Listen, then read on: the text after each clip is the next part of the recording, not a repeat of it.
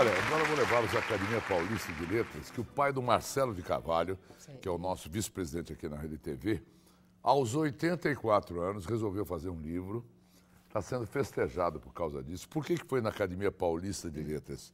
Porque o avô do Edro de Carvalho foi o fundador Olha. da Academia Paulista de Letras. Estava todo mundo lá, o nosso presidente, o Amilcar Idalevo, a Luciana Gimenez estava lá também, grávida. Fala que não está, tá, com a barriga Tá desse magrinha, tamanho. não. né? Tá magrinha. Ah, tá muito magrinha. Tá com a barriguinha já formadinha. Não tá? Formadinha. Mas só barriga, né, É só barriga, Agora, eu quando nada. tiver 84 anos. Escrever um livro Eu não é não, fácil, não quero escrever o livro, não. Eu quero estar igual o Edro de Carvalho e ter as namoradas que ele tem. Vamos lá.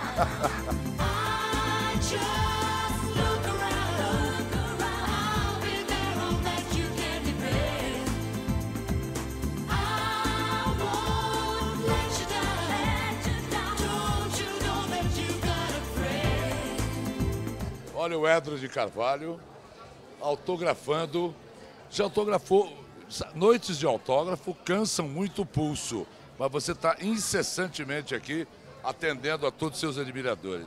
Tá certo. E atendendo mais, inclusive, essa coisa linda que são os repórteres que vêm pedir opinião pra gente, tá certo? Porque se vocês não existirem, como é que eu posso existir? Edro, como é que você resolveu fazer um livro aos 84 anos? Não, eu não tinha 84 já, eu tinha 83 e, e uns meses, tá certo? Mas eu resolvi fazer porque eu não, não, me, eu não me contentava que ver tanta, tanto tempo que as pessoas perdem lutando por absurdos que não, nunca vão alcançar. Em vez de lutar pela felicidade do dia, ficam lutando por coisas que não podem querer, lutando pelo poder. O importante não é poder, é querer. Então, se você lutar pelo teu querer, você terá tudo na vida, tá? Então, você tem três tempos, passado, presente e futuro. Passado você não entra, mas você pode fazer um passado lindo se você hoje começar a ser feliz. Amanhã você vai ter um passado feliz. E o futuro você joga todos os teus sonhos e luta por eles. Você está na, na ativa, sempre trabalhando. Acho que essa é a receita da vitalidade. De tá, está cheio de namoradas. Os jornais publicaram. É verdade isso? Claro, todas as mulheres. Várias namoradas. Não, apenas uma. Olha, mulher é para ser amada. Tá certo? A mulher é para ser amada. E você precisa amar para ser amado. Não pense que você consegue ser amado se não amar.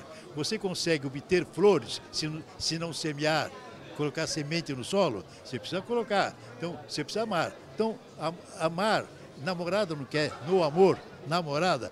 Todas as mulheres que eu conheço são minhas namoradas. Umas são amigas mais íntimas, outras não são. Mas todas elas são namoradas. E estou distribuindo senha para arranjar, porque eu. Filha está dando volta no quarteirão. Agora diga para eles, o que é que você quer que todo- todos prestem atenção no seu livro? Além, dessa, além disso tudo que você falou. Primeiro, preste atenção no seguinte: é importante que as pessoas cuidem da sua mente. Não deixem, não entreguem a mente para terceiros que querem botar minhocas na sua cabeça, principalmente do medo. Todo mundo explora o teu medo para ser feliz. Aí você paga dízimo, paga tanta coisa. Não pode. Você tem que liber- se libertar do medo e só ter medo de ter medo. Nós estamos aqui na Academia Paulista de Letras. O Joaquim José de Carvalho, teu avô, foi o fundador da academia. O que é que você se lembra do teu avô? Olha, muito pouco, porque eu era tão pequeno que ah, não, não- não dava. Eu lembro mais de coisas que me contam, tá? Porque eu tenho uma memória digital, posso provar. Mas o lembrador da minha memória é analógico. Então eu estou perdido, tá certo? Eu não me lembro de muita coisa.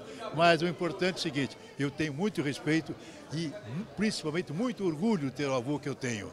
E parece que ele me transferiu uns DNAs que servem para mim, porque eu provo para você que eu transferi o DNA, porque hoje eu estou sentado aqui na Academia Paulista de Letra, e é onde que ele fundou. Não é, não é bom isso? Eu sou ele no futuro. Vou ler o livro inteirinho a partir de agora, do Edro de Carvalho. Está aqui.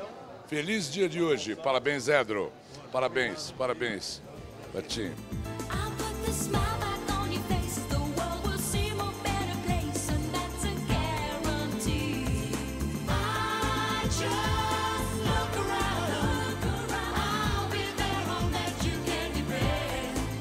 E agora o depoimento do Marcelo Carvalho.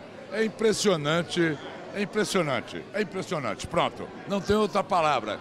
Eu quero é, me manter de tal forma para chegar na cidade com a performance do Edro de Carvalho. Marcelo, que pai, hein?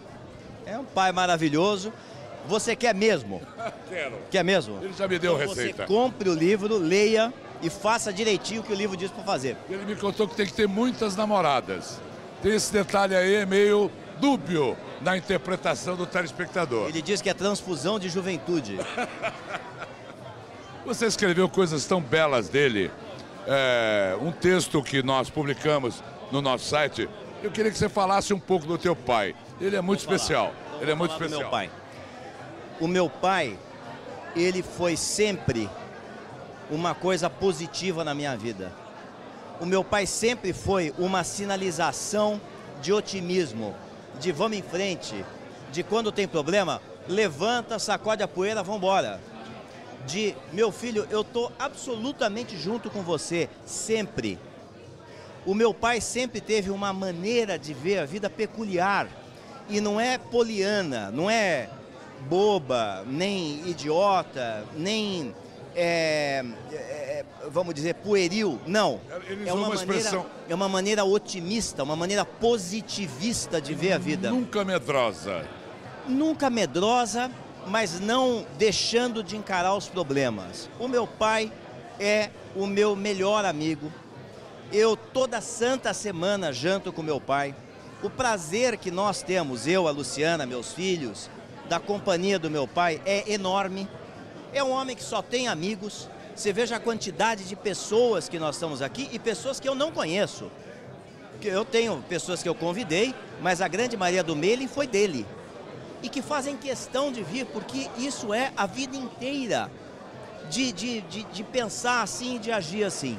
Né? Então, eu desejo a você, telespectador, que realmente tenha um feliz dia de hoje e que se comprar o livro, se inspire nessas palavras que são muito bacanas. Começarei a ler hoje, imediatamente. mesmo. Parabéns. Marcelo. Obrigado.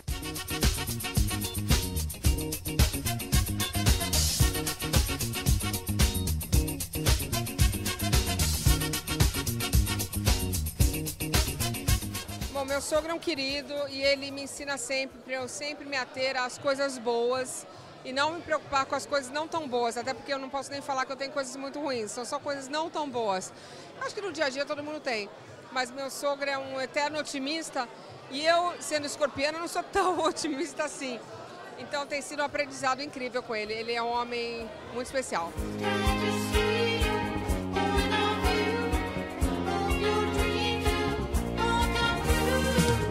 Está aqui o publicitário Júlio Ribeiro, que é um dos prefacistas. Está aqui o Ricardo Belino, também prefacista. E eu quero saber de ambos a sua relação com o autor, que está aí vendendo energia, vendendo positivismo. Eu acho uma beleza você ter 85 anos e ter energia que o Edro tem, né? É uma coisa que me fascina. Ele é o amigo mais antigo que eu tenho e está sempre me fascinando com as novidades que eles fazem. Esse livro é um exemplo disso. Mauri, querido, esse livro nasceu num almoço que eu estava com o Edro e ele me pediu que ajudasse ele a escrever um livro.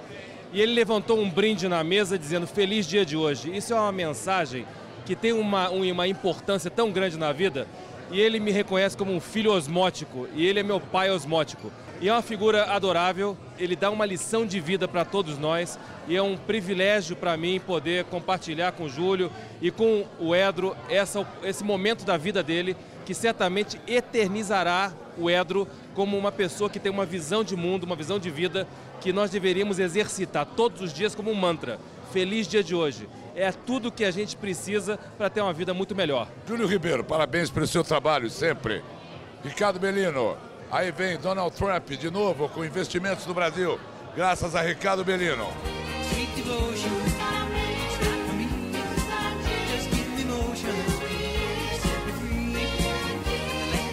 Acho que é bacana eles viver a vida e aprender com quem sabe. Eu acho bacana essa iniciativa, iniciativa dele, aos 84 anos, querer viver, escrever um livro primeiro livro e ajudar as pessoas. É muito legal isso. Eu queria dar os parabéns para o seu Edo, porque não é para qualquer um chegar aos 84 anos lançando o livro. E principalmente pelo título do livro, Feliz Dia de Hoje, que eu sei que essa é a filosofia do seu Edo e acho que deveria ser a filosofia de todas as pessoas. Porque na realidade nós não podemos ser felizes nem no passado nem no futuro, somente no presente. E quem é feliz hoje é feliz todo dia. Parabéns, seu Edo.